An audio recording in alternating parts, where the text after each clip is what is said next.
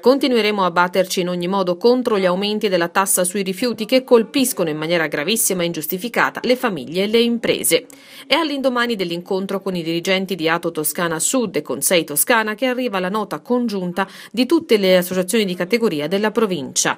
Confcommercio, Confesercenti, CNA, Confartigianato, Confindustria, Confapicol, Diretti, CIA, Confagricoltura, Lega Coop Toscana e Confcooperative. Gli aumenti ci saranno di sicuro, affermano le associazioni, questa è l'unica cosa che è emersa chiaramente dall'incontro.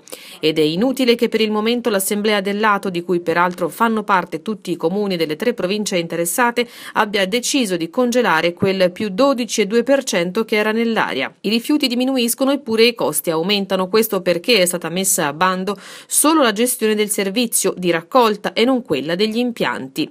Inutile il gioco dello scaricabarile, sono i sindaci i primi ad avere voce in capitolo in quanto presenti nell'Assemblea di Ato Toscana Sud e nel 90% dei casi anche nell'interno di Sei Toscana come proprietari dei singoli gestori.